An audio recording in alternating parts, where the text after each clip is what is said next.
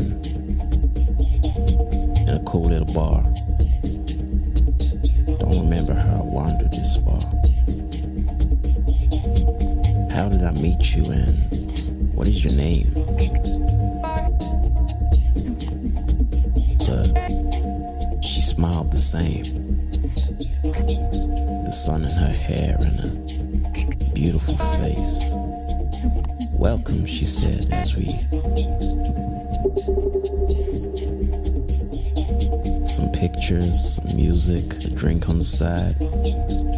We talked till the morning, our eyes open wide. She told me her stories with smiles in her eyes. A moment in time as we